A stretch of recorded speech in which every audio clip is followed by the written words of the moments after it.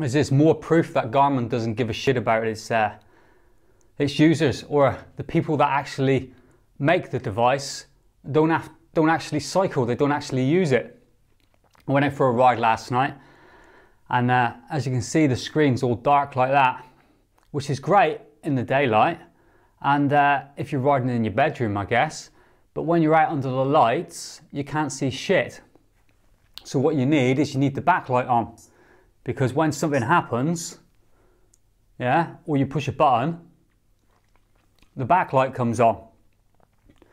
So if you want the backlight on all the time, you've got to go into a menu, all the way down into settings.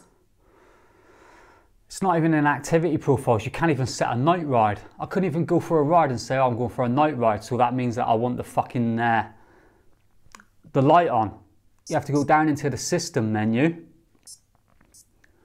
then go into display, and then choose the backlight timeout to stays on, which is great for a night ride. But what about then when you go out in the daytime? Then you've got that on all the time, which you don't need it. You don't need the, the, the light on. So why can't I just have it under an activity profile, right? As soon as I set the profile, Strava, right, it's a day ride, what happens if I want to go like night ride?